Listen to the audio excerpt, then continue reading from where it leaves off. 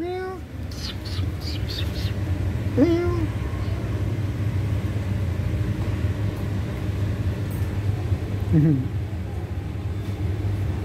mèo to ghê luôn con này bao con này là bao nhiêu tuổi rồi à, anh chị nhỉ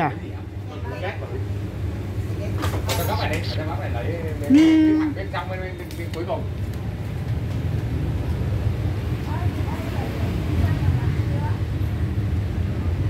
gần Con- được 3 tuổi rồi đấy. gần 3 tuổi rồi 3 năm cũng già ở đấy chính ra là già rồi tuổi tuổi mèo này 3 già tuổi là nó còn lớn hơn nữa hay thôi? 3 tuổi là lớn hết rồi cỡ rồi Hết lớn rồi đó. con này hết cỡ rồi cái này cũng to lắm còn gì nữa Meow. Mèo của Việt mình thường thường là mèo mấy ký là, là, là, là không con này là to đấy chứ bình thường là những con mèo khác nó cũng chỉ tầm nhỏ con này thôi con này là to lắm rồi con này thuộc loại là cũng to à? to rồi Đó, em thấy con mèo mà 8 9 kg là nó là thuộc loại mèo gì? nhưng mà giống mèo khác rồi. Mèo mèo việt. Mèo việt cho to như thế này là quá to rồi đó. À thế à? chứ còn ờ, giống mèo to hơn nữa là giống mèo khác rồi. Mèo việt thì chỉ có cỡ này là quá to rồi. Con này chắc uh, ba bốn ký rồi. Không, 5 kg hơn mà. năm ký hơn. Này 5 kg dưới. vậy là to. Ờ, mấy mèo nhà em nó to hết cỡ đâu bự được như thế này đâu mèo việt này mèo việt này như thế này là to rồi Con này nó có thuộc lai biết gì không em? em chả biết nữa như thế này chắc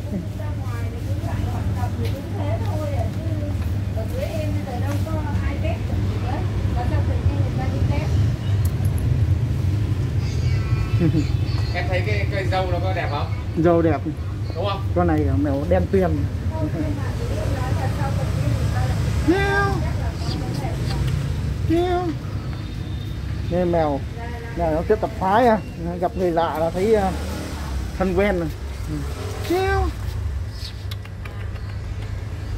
Meow. Meow. Meow.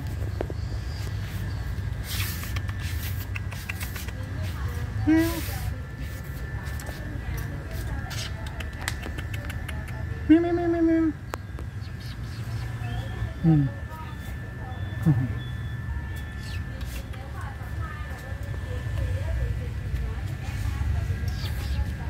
Ừ.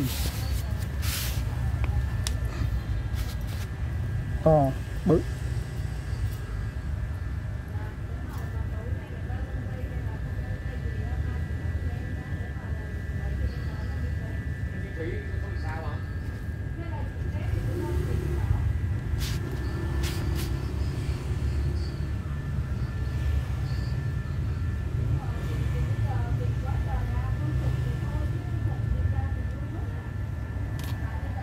Cho được cái một cái này.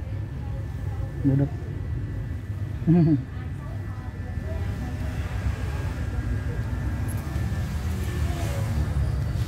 Bye bye.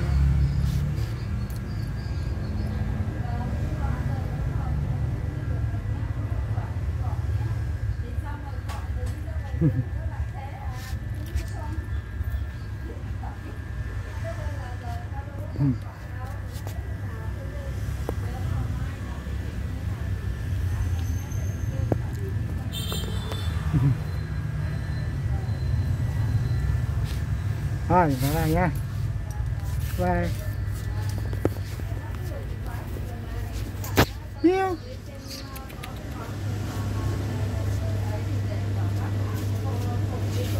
Bye bye.